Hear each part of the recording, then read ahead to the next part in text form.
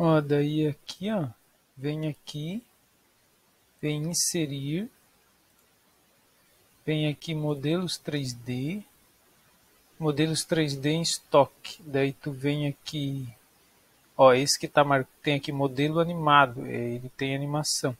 Daí você clica aqui, daí por exemplo aqui, ó, pegar o dinossauro, por exemplo aqui, ó.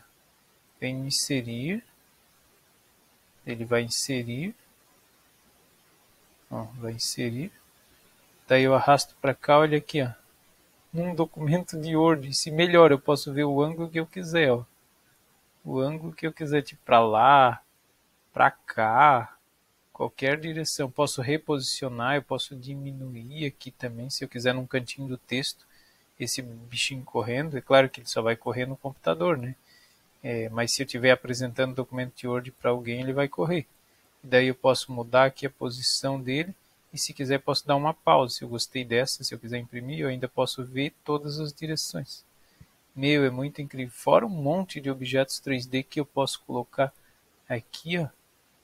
Que tem tudo isso, animais, coisa errada. É um mundo, né? Um mundo de coisas.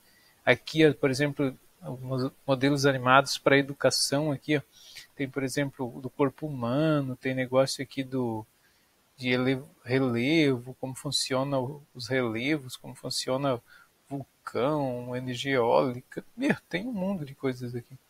Muito interessante, nunca tinha visto isso.